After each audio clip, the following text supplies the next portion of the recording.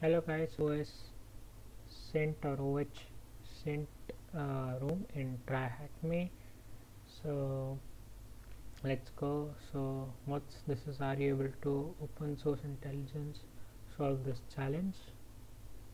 And let's start. So these actually I'll show you how to do it. Firstly you need to download this file. And if you are in TryHackMe you don't actually need to connect to VPN or start the machine. It doesn't require that.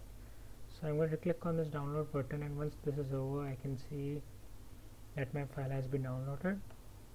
And yep this is the file. So as you can see like there's nothing great in this. So how can you find information from this file? So firstly what you need to do is you need to download the tool known as exif tool.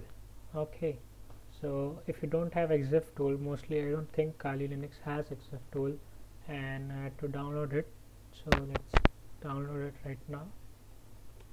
And yep it's I actually had auto downloaded before only. So this is how you install the exif tool and after that you can just do man exif tool to check all its various options. But that's not what, uh, what I'm going to do. I just will type exif tool and the name of the file. So the file is obviously located in downloads and and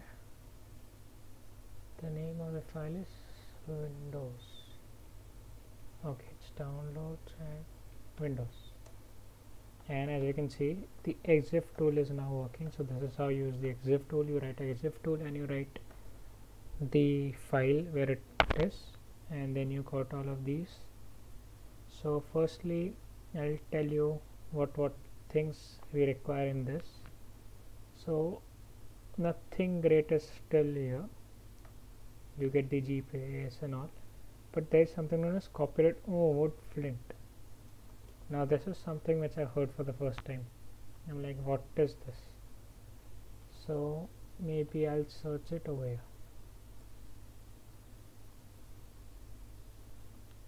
And let's see. I see three links having this name. And I'm going to click all of these so the first question is what is the user's avatar of?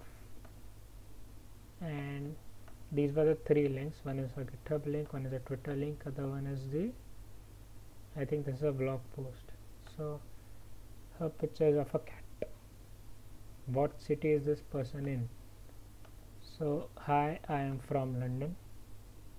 So this is that guy is in London and these are the first three links which I got after typing that name. And the name I got from this place after typing exif tool. So yeah.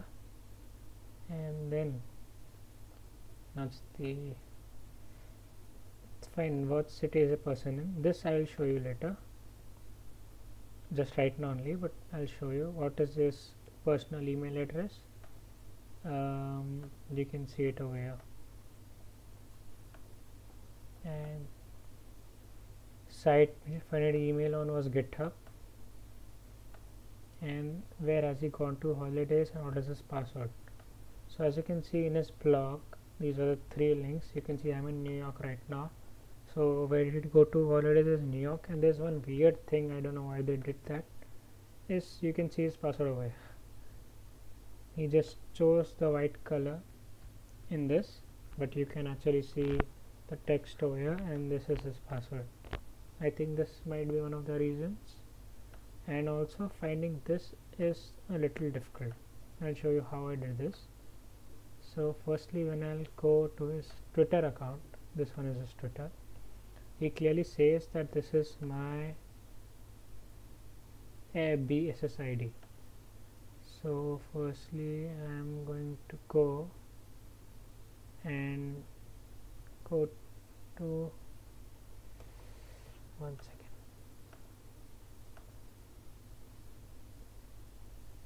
See BSSID plus wigle.net so let's go to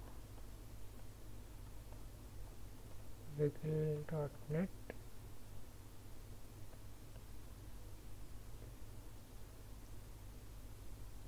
and then I'll paste that BSSID over oh, here oh my. That's not the PSS ID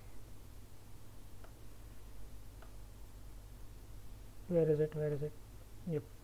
Copy and yep paste. Now and I'll click on filter. Now the worst part with this thing is that this thing actually doesn't automate the process you actually have to go there. Like I'm doing a left click right now. And I'll try and search the place. So my net is slow right now. So just bear with me. So till the time this loads I'll explain you what's what I what we did to find everything. So firstly we got this name from exif tool from that picture. Then what we did is he, we just did a google search went through all his accounts took his location and i don't know why who exposes the b that BSSID but sure fine. Now we are going to go at his place